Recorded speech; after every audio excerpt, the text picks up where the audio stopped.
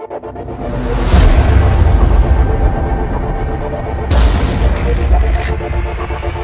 உலகத்துல காத்து தண்ணி வானம். இது மூணு எல்லாருக்கும் பொது. அதை ஏன் தண்ணி ஏன் காத்து தரமாட்டேன் விடமாட்டேன்னு பக்கத்து ஸ்டேட்கார் மாதிரி பேசுறது ரொம்ப தப்பு.